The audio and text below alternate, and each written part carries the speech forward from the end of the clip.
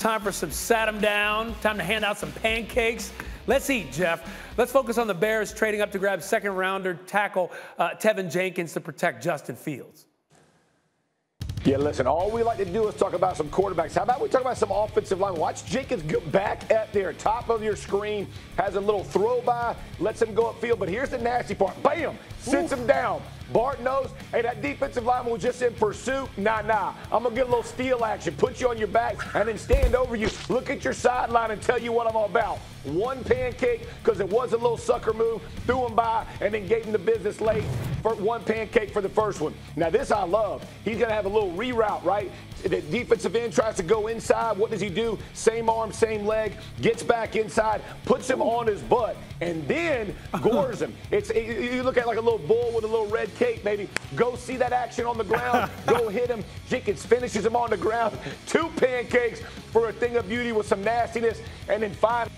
and I showed this a few months ago, continue to show this one. Watch the fit and finish takes him, drives him, oh. doesn't take him to his own sideline, takes him to that sideline. And look, when he finishes him in the sideline, you know that whistle's been blown about right here. He ain't stopping the leg churn. Hey, the freight train's already moving. I'm going to put you on your back.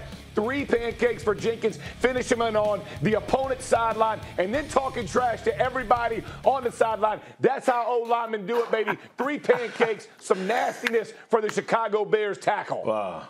What, what do you got, Bart? Uh, my throw thing is, I'm looking at throw, throw in the towel, throw in the towel. Man, come on, man. Like, where's my teammates when the big dude jumping on me? Like, I need, I need some help. I need an easy button. Come on, man. Like, come on, man. The whistle's bro. Ref, ref. Bart, Bart. Let me ask you. Has that ever happened to you? Have you? Has that ever happened to you? Let me just ask.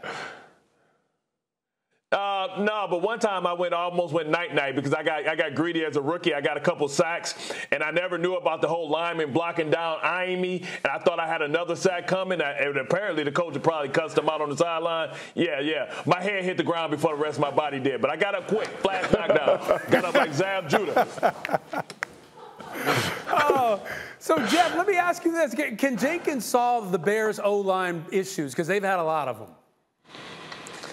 Yeah, they got they do have a lot of them. Listen, you know when I look at Jenkins, I know he's going in, and Ryan Pace made mention of him potentially playing left tackle. Right, they just released their left tackle from last year. When I when I look at this.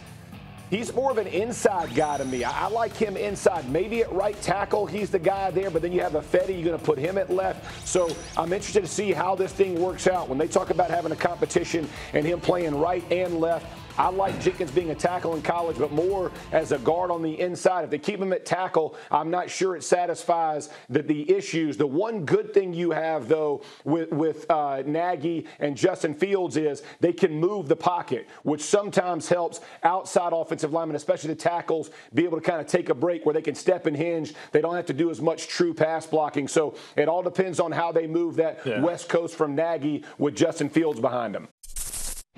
Thank you for watching ESPN on YouTube. For live streaming sports and premium content, subscribe to ESPN Plus.